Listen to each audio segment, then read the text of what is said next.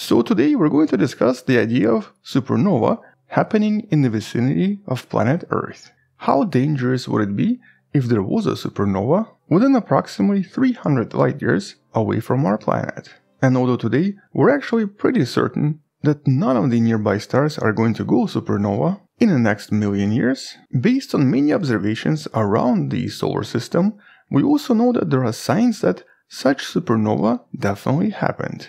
For example, the famous local bubble that we've discussed many times before was extremely likely produced by multiple supernova within the last 15 million years. And in case you're not sure what I'm talking about, it's essentially an extremely large bubble around the solar system that seems to contain a slightly lower density compared to the rest of the galaxy, as if something blew away a bunch of material, such as, for example, from a supernova explosion. And this is actually hundreds of light years across, so this is not a small feature. But similar bubbles exist elsewhere, so we know that this is actually pretty common. A few videos in the description explore this idea a little bit more. But specifically in this video, I actually wanted to focus on this recent paper that discovered something really surprising. And the title here kind of tells us everything. Earth's atmosphere protects the biosphere from nearby supernova. Or in essence, the discovery is a little bit surprising. It suggests that the nearby supernova are not actually as dangerous as we always thought. And so, hello info person, this is Anton. Let's discuss the idea of nearby supernova and the hazards to planet Earth, and of course talk about some of the evidence from previous explosions that might have actually caused extinction events on the planet. But first, let's start with the solar system.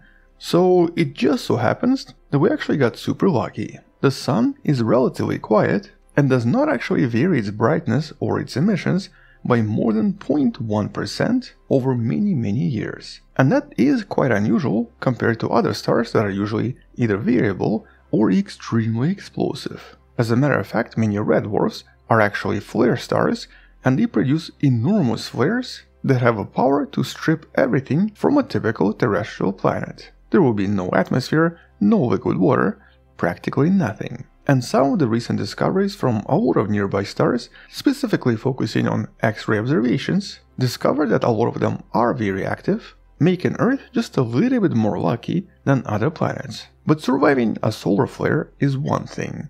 What about a supernova? And the thing is, for both of these events, terrestrial planets would very likely have extremely similar defenses, mostly the ozone layer. The upper layer responsible for shielding us from a lot of dangerous radiation, basically blocking up to 99% of all of the UV light coming from the sun and from everywhere else. And so for our planet, that's actually one of the main reasons life was able to evolve here for 4.5 billion years and has been doing pretty fine, at least for now. But based on statistical observations, every million years or so, there should be at least one star exploding within about 300 to 400 light years away from planet Earth. A lot of the statistics is once again based on the observations from that local bubble. Moreover, we even have signs of core collapse supernova sending their elements to planet Earth in the last 2.6 million years. Here we're talking about elements such as iron 60, which is a radioactive iron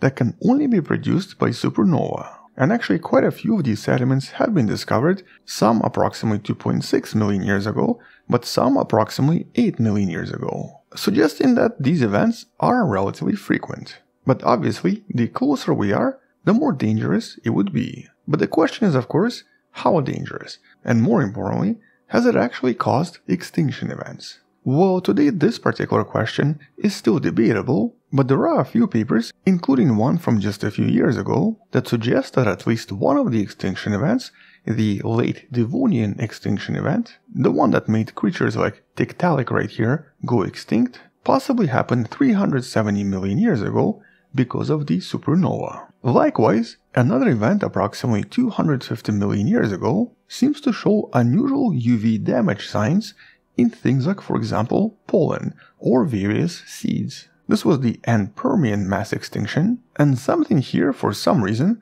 caused the ozone layer to disappear once again. And so, in essence, in a lot of these cases, we seem to have these events where the extinction seems to correlate with major increases in the UV light, very likely the result of the collapse of the ozone layer around the planet. And one of the major ways we think ozone layer can disappear is because of nearby supernova. Specifically, various gamma rays and cosmic rays can easily deplete the ozone layer, especially if they arrive in huge amounts, which in essence would look something like this.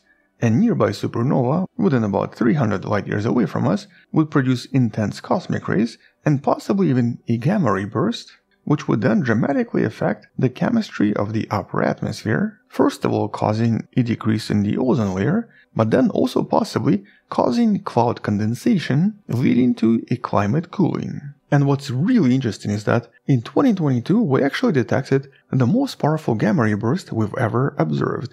And even though it was about 2 billion light years away from us, it actually did change the atmosphere just a little bit. You can actually learn about this unusual event in one of the videos in the description, but that was in a completely different galaxy far, far away. Imagine if this happened right here. And so the effects might be much, much higher. All of this might strip the ozone layer completely and dramatically increase the cloud coverage, dropping the temperature for many, many years. Or at least, so we thought.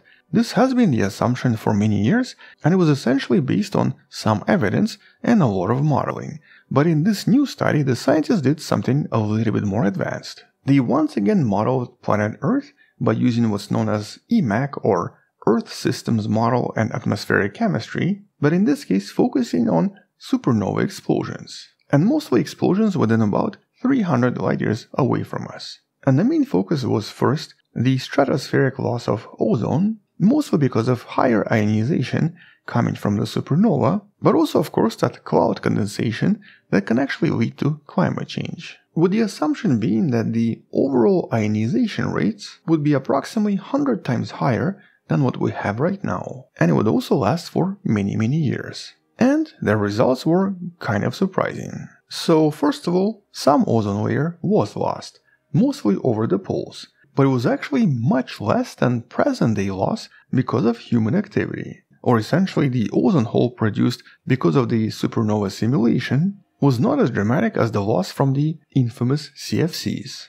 the chlorofluorocarbons, with the overall loss being approximately 10% or even less. And in terms of global cooling, there will be some change, but it would not be dangerous or dramatic, even though in some locations, such as the Pacific or the Southern Oceans, the overall cloud seeding effect would increase by up to 100%. Despite of that though, it would not actually change the temperatures by that much, at least if it happened today. But as you probably know today, we actually have quite a lot of oxygen in the atmosphere, which then leads to even more ozone produced in the upper atmosphere. But what about 400 million years ago? During the Precambrian, the oxygen levels were much much lower, going down to about 2%. So maybe during this time supernova could be much more dangerous. Naturally, because of less ozone, we would get less protection, and so the ecosystem could be a lot more vulnerable. But even during these particular times, the ozone loss was only about 10 to maybe 25%, and surprisingly, in some locations, the ozone actually even went up. Once again highlighting that these effects from various supernova would unlikely to have any major impact on pretty much most of this advanced early life on Earth 400 million years ago, with the overall conclusion from the paper basically being that supernova might not actually be as dangerous as we thought, at least the ones that happen every million years. And it's actually quite unlikely that any caused any mass extinction on our planet. Moreover, the magnetosphere and the atmosphere of the planet seems to basically protect us from most things out there, and is very likely the main reason life survived here for over 4 billion years. And so as long as supernova don't actually happen too close, we should actually be okay for a very very long time, unless the supernova happens within about 30 light years away from us. Now in that case, it could be catastrophic, but the chance of that happening is not very high. It might actually happen maybe every few hundred million years, or possibly even every 1 billion years, but right now there's just not enough evidence to suggest either way. And so the overall surprising conclusion is that even though supernova are actually dangerous, it looks like planet Earth is very resilient and is able to protect us from a lot of dangers of outer space with the ozone layer being one of these major layers of protection. So definitely quite an intriguing research and some really cool discoveries.